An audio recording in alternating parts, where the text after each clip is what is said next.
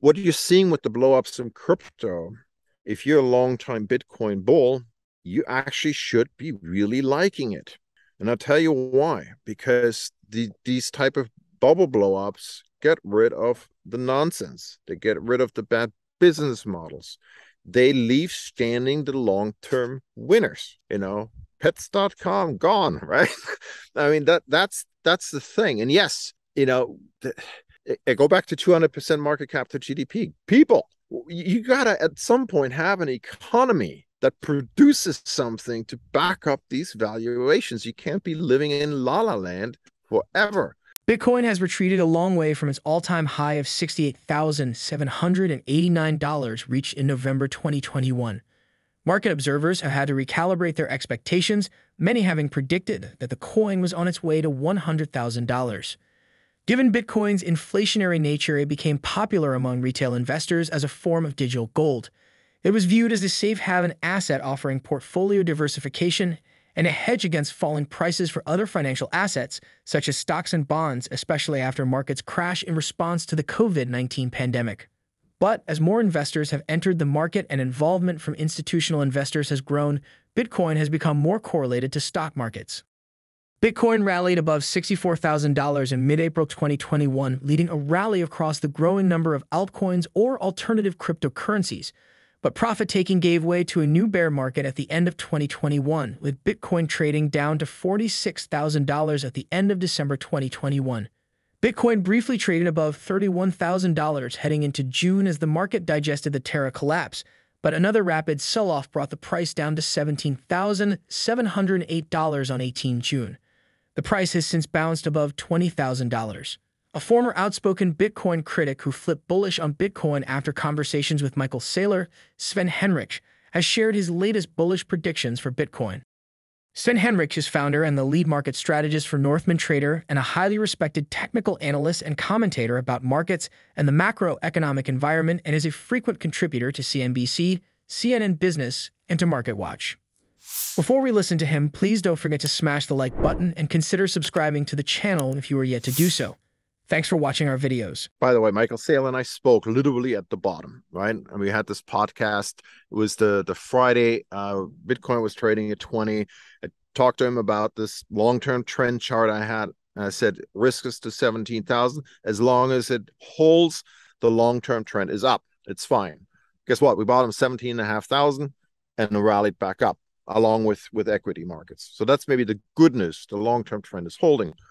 the bad news, maybe, is that the correlation between Bitcoin and the S and P it's almost ninety percent. All right, In, in fact, it's gotten so close that on the weekends I already can tell where the U.S. market's going to open. You know, if Bitcoin rallies over the uh, the weekend, I know futures going to be up on Sunday, and, and vice versa. If it drops, it's it's not going to be. I mean, it, it is that closely correlated and as long as we don't have the clarity on regulation i think this is just going to continue to be that way. Call it a 5x etf on on the market at, at, the moment okay? So if you take then the view maybe the market's at bottom this year then that's all good news for for bitcoin right? As long as the correlation is that tight.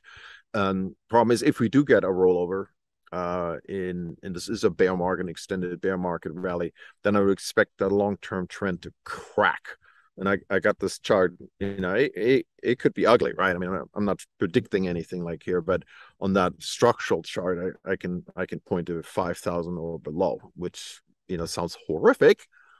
Not, again, I'm not predicting it, but technically, that's what I see if that trend breaks as a possibility, and it wow. it, it just put you back in the range it would just put you back in the in the range over the last few years. You know, my my bullish case on Bitcoin has simply been at the beginning of the year. Yeah, we're in the bear market. Uh, it's going to get whacked. I'm going to be patient. I'm not using this as a trade. This is not Northman Trader. This is now Northman Investor.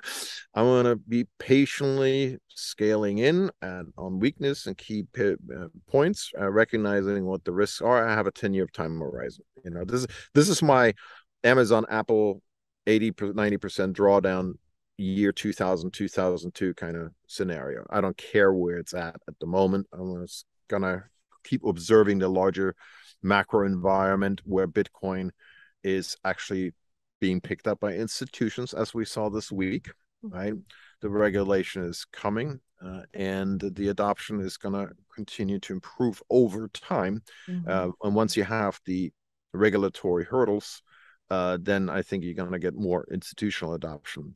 But in the meantime, you're going to get the same ridicule that you saw in, in 2000 when when Amazon blew up and everybody was laughing at at, at Bezos and you know look what happened there ultimately you know and so when you see Tesla taking a big write off um you, you're gonna get those type type of headlines obviously but yeah it's it's it's all correlated uh and we don't know whether we're still in a bear market rally now that will roll over or we whether we've made the low now for this year anyway and, and see a massive year end rally i will offer one caveat to the extent that in our extraordinary times uh, seasonality applies. Um, there's something called midterm seasonality. Yes, every election type of background has also seasonality associated with it.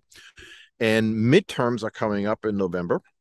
And typically, what you see in midterms, and it's not been tracking perfectly at all this year, because this first year was this first half of the year was definitely extraordinary, but it correctly predicted weakness in the first half of the year it predicted multiple rallies that coincided with that midterm seasonality chart in the S&P. It the, that midterm seasonality chart says more stress into September, October, which may or may not produce lows. I'm I'm, I'm looking at this at you know technically I see also bullish patterns if we do drop from here a bit, but it then predicts a massive year-end rally starting basically around you know the, the september october pivot point. I know a lot of people are looking at this as well okay? So and i said this on twitter the other day too you know bears need to prove their case here they need to produce new lows because july the bad news didn't matter anymore right why not because it's priced in because everybody's expecting that fed pivot yeah right? or they're sniffing out maybe the peaking of inflation right and so that that's that's why I think the September will be so fantastic because in again 2000 we peaked with a bear market rally and then everything fell apart. In other cases, seasonality took over and and we just rallied into year end. I wish I could give you a definitive uh, reason a a a very clear prediction, but I'm I'm going to stay open minded and we just adjust as as things progress. Yeah. For now, at this very moment, you know we we were very bullish from mid June to to to this week. We started scaling out of longs. Now we're kind of we still have longs, but we're kind of dabbling on tactical shorts because there are issues with this rally. One is is just one open gap after another. So I think has some work to do to the downside at some point. But risk remains higher uh, as long as you don't see a significant rollover. What you're seeing with the blowups in crypto if you're a long time Bitcoin bull, you actually should be really liking it. And I'll tell you why. Because the, these type of bubble blowups get rid of the nonsense. They get rid of the bad business models. They leave standing the long-term winners. You know, pets.com gone, right? I mean that that's that's the thing. And yes, you know, the, I go back to 200% market cap to GDP. People, you got to at some point have an economy that produces something to back up these valuations. You can't be living in la la land forever. And that's that's what I kept warning about last year, right? Even with Bitcoin at the time, because you know, I had I had my little journey, you know, and I, I certainly wasn't chasing all this stuff into, you know, 50, 60, 70,000 you know that's why i'm looking at it from a long-term perspective and i was like yeah give give me weakness. Bring it. Have things blow up. Give me give me better prices. I'm all for it you know?